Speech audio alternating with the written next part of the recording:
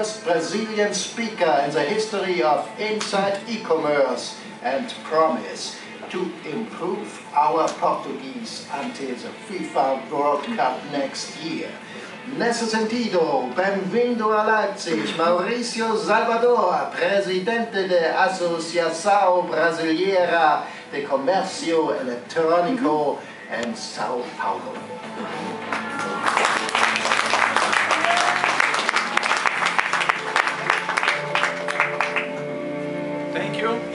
I, got the last the last part. I could understand by Mauricio Salvador.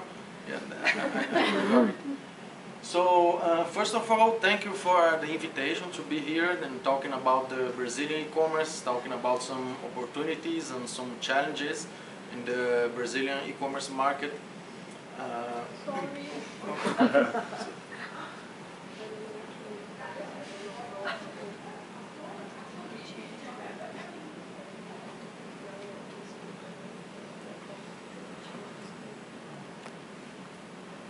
All right.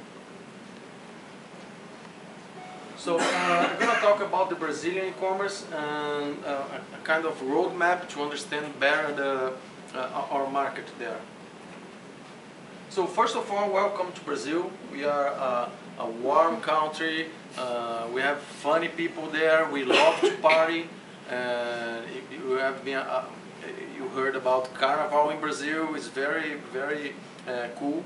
So last year I spent uh, some time in German and I went to the Cologne Carnival. So forget about it. Try Brazil next year. well, this, this is a guy playing capoeira at the sunset in Copacabana. It's a, a, a nice place to be at. And Rio de Janeiro, uh, the sightseeing, it, it's very, very beautiful. Okay. So some numbers to understand better the, the, the Brazilian economy. We are a federal republic. We have a population of 201 million Brazilians. Uh, we are the fifth place in number of uh, population in the world.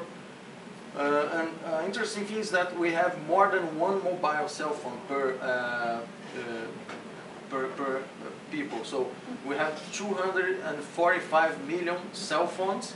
That makes crazy. Like some some people they they have like two or three mobile cell phones. It's, it's very crazy. And we 73.6% are Roman Catholic. I, I, don't know why I put this information here, but anyway. uh, our GDP is 2.3 uh, trillion last year. Uh, that makes us the eighth economy in the world. And we have five major cities in Brazil. São Paulo, just to have an idea, has almost 20 million uh, people living in, in the, the city. Rio de Janeiro with almost 12 million, Belo Horizonte with 5.7 million, uh, Porto Alegre with 4 million uh, people, and Brasilia, that is the capital city of Brazil, with 3.8 million people living there. One interesting thing is that 22% of the whole population of Brazil is concentrated in five cities. Although we have almost uh, 4,000 cities in Brazil, 20% of the population uh, are concentrated there. And of course, I, I, I, couldn't forget to say that we are crazy about soccer and five times world champions. And I hope, I, I hope German next, next year will, will uh, play well in, in, Brazilian. So uh, something about uh, the economy to understand better how the, the e-commerce is going on. Uh, our GDP for the past decade uh, grew in average 3.5% uh, and uh, expect, we expect to, to grow of, uh, around 3.4% until 2015.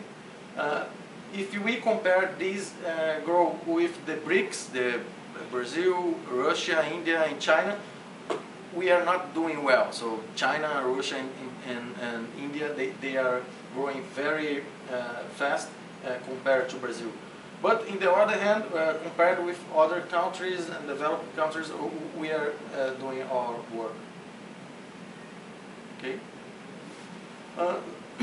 more numbers to understand the, uh, the, the, present scenario of, the, economy.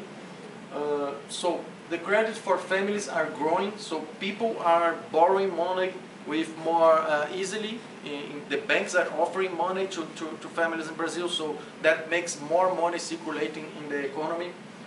Uh, total payroll also uh, is, growing uh, year uh, by year, so these also make more money, families with more money in, in, their pocket, so they can buy more.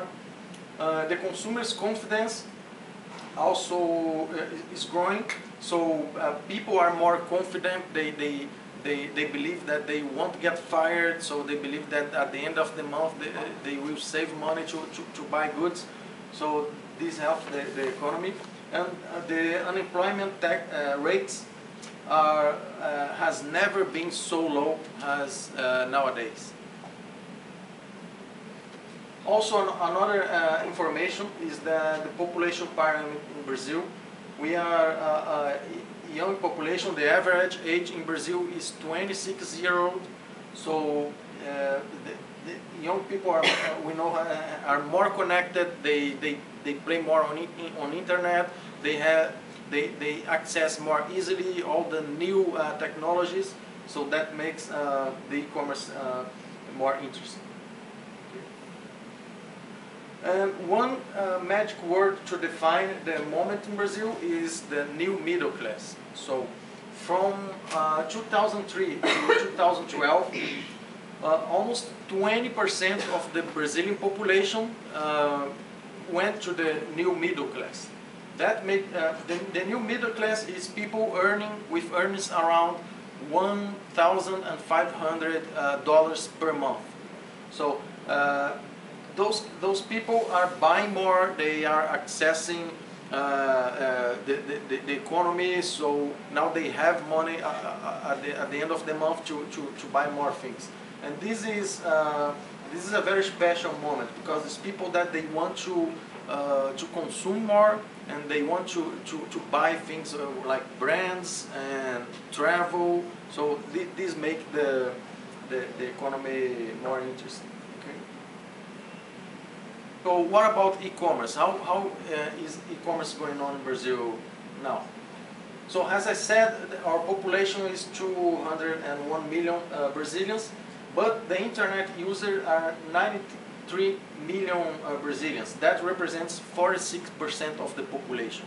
So uh, considering the people who buys online, so uh, 21% of the population, of the Brazilian population, uh, buy online. So one in each five Brazilians, they uh, shop online.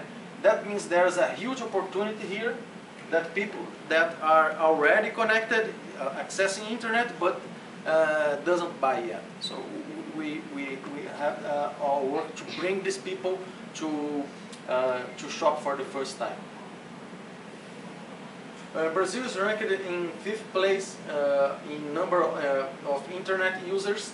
We have a penetration of internet of 46%, so we, we uh, expect to, to increase this number for the next years. So there's a lot of opportunity here also, because there's a lot of Brazilians that never have been connected on internet. They just don't know uh, how internet works. So when those people connect for the, for the first time, of course they, they, will have the chance to buy online for the first time and probably if they like, if everything goes uh, uh, alright, they will buy again. Uh, more numbers about shopping online in Brazil, so the, the perspective to, to grow in number of internet users for the, the next two years. We expect to reach uh, uh, 110 million uh, internet users in Brazil. That makes more than 52% of the uh, of penetration of internet. Broadband users, 23 million of Brazilians will have broadband access in, in the next two years.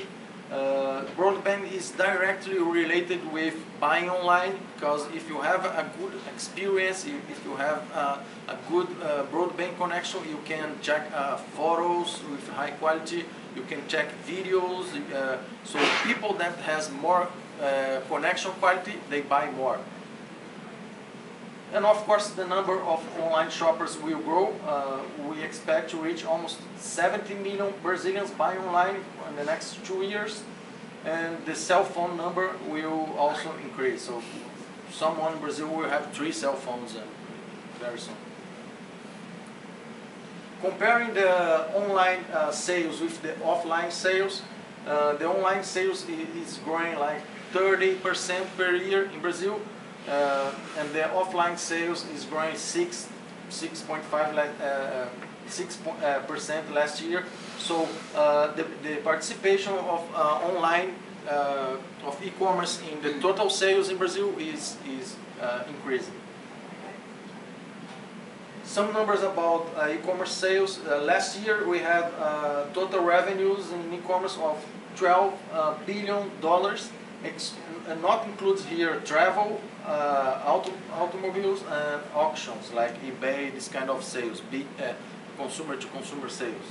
Uh, and for this year, 2013, the expectation is to reach uh, 15 million, uh, 15 billion dollars, and in two years uh, it will almost double.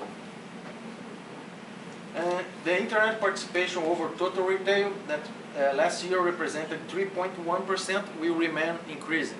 So if we consider act, uh, some actions like uh, cross-channel strategies and omni-channel, omni-channel uh, that mean people who uh, research internet and then buy offline, this uh, participation will be bigger. One thing, as I said, the population is concentrated in five cities uh, in, in, Brazil, and we have different countries in the same country. We have different regions in Brazil, like North and Northeast are the poorest regions in, in the country, and Southeast and South are the richest. So these, these numbers, uh, it's, it's just to have an idea, in Brazil, the Southeast region in Brazil, two years ago had 70% of the e-commerce sales it represented.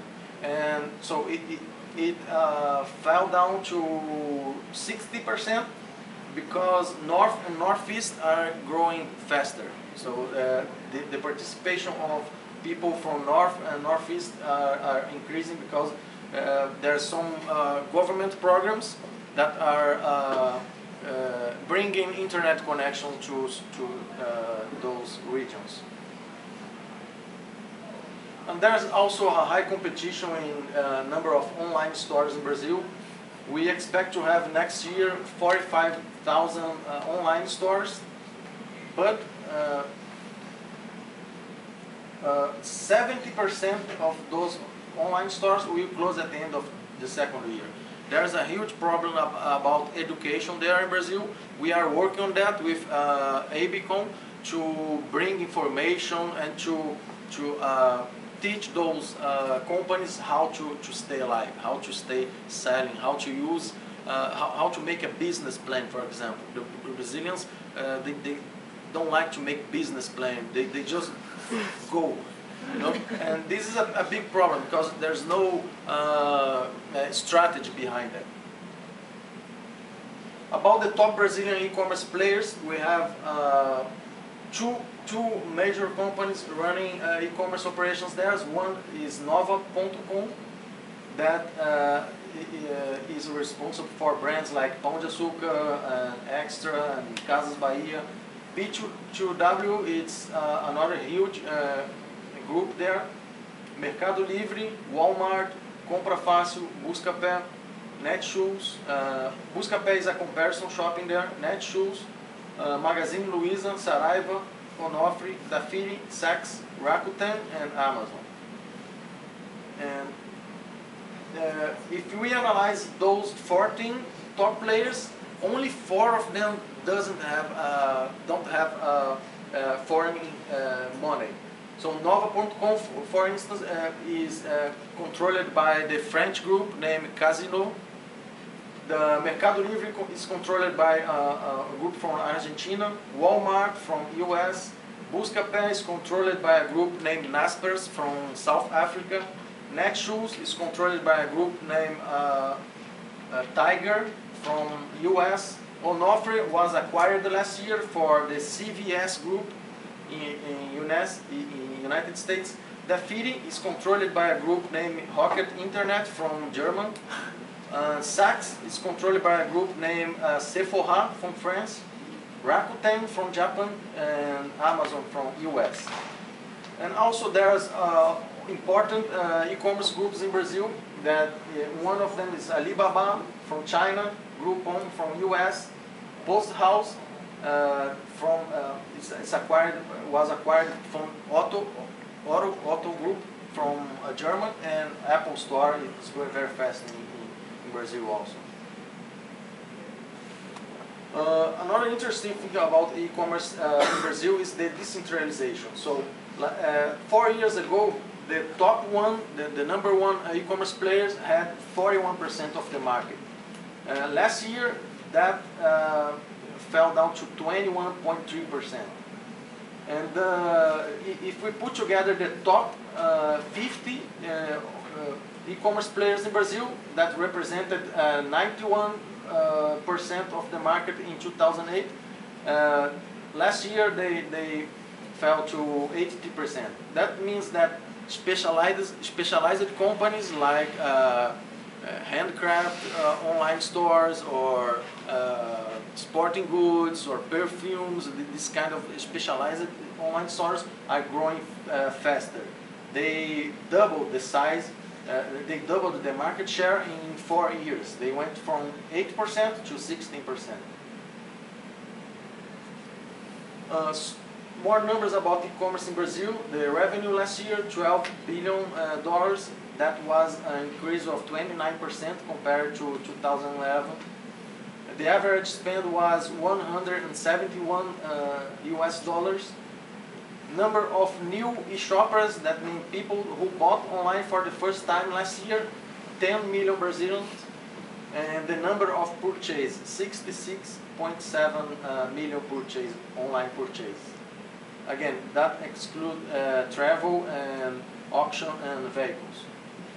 And the best seller categories in Brazil, appliance in the first with 12%, apparel and accessories with 12.2%, health and personal care with 12%, computers with 9.1% of participation, furniture and home furnishing with 7.9%. One interesting thing, uh, thing here is that those two categories here, uh, apparel and health and personal care, three years ago uh, they were in 16th and 15th place. So they, they uh, jumped to second and third in only three years.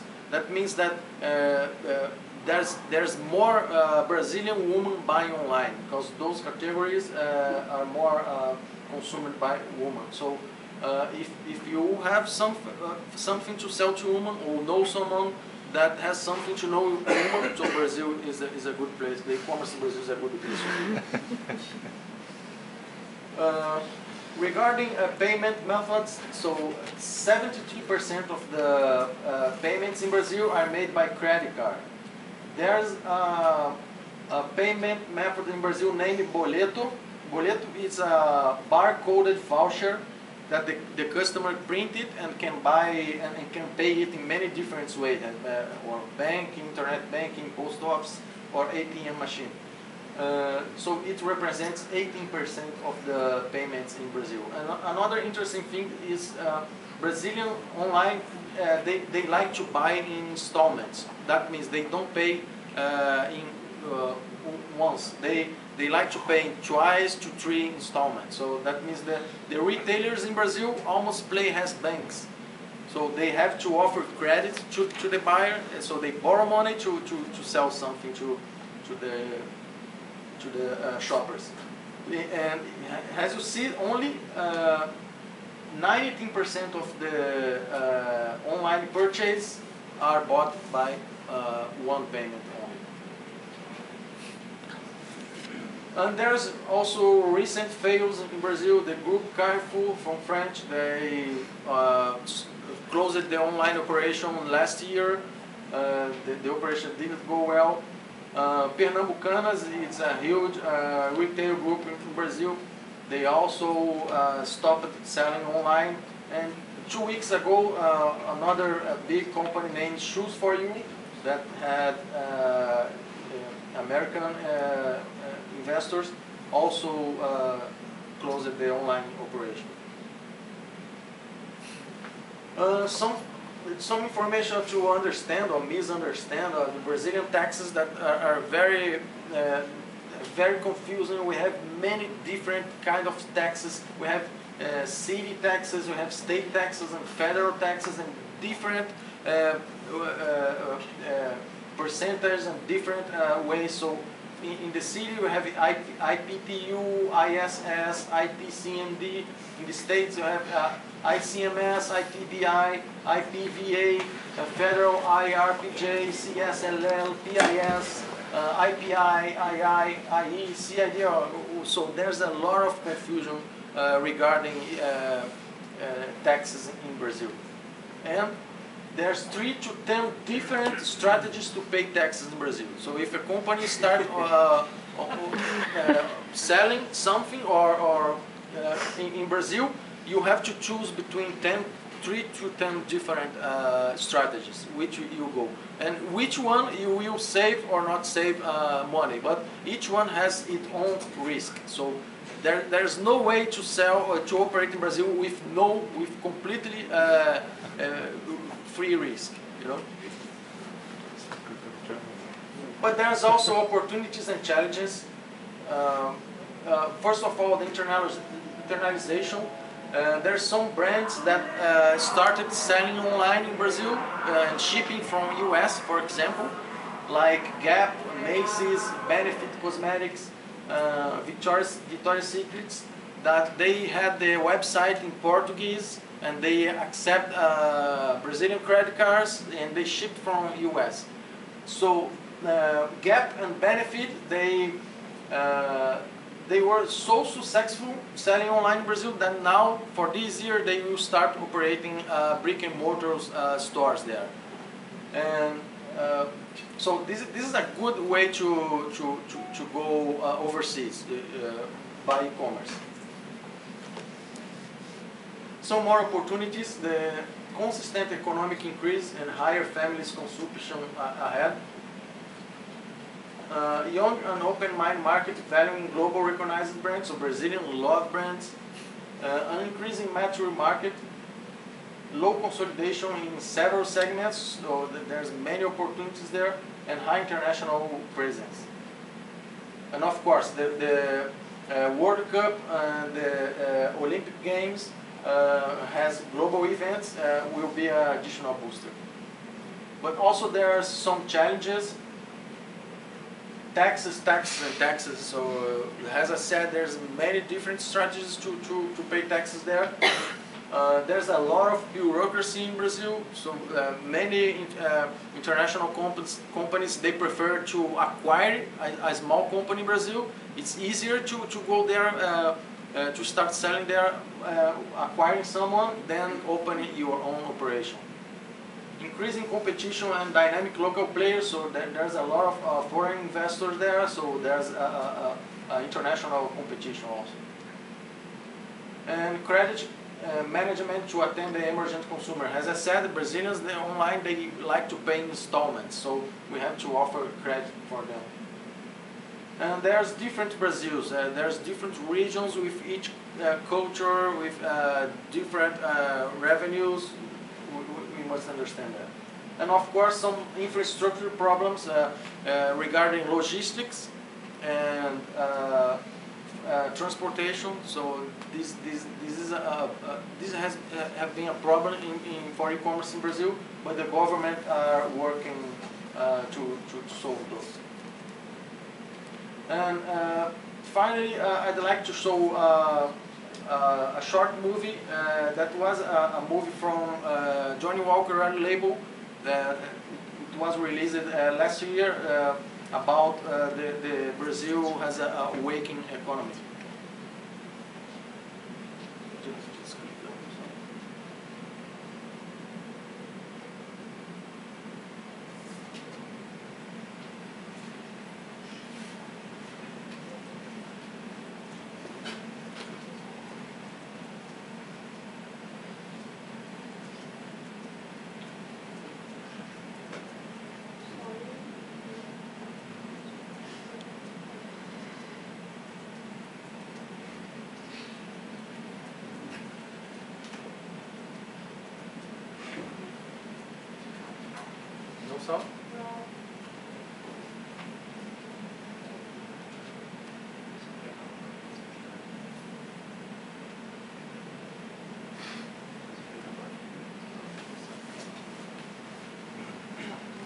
Switched off on your notebook. Yeah, yeah.